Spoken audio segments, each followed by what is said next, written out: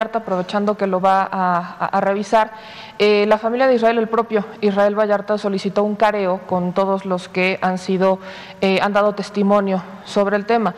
Una de las personas citada es Azucena Pimentel, eh, que actualmente está en televisión educativa. ¿Tendría usted algún problema, objeción en que fuera a dar, a rendir de nuevo declaración?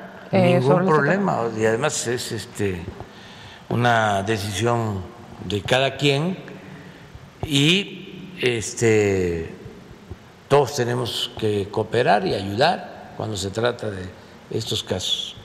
Ya, en otro tema.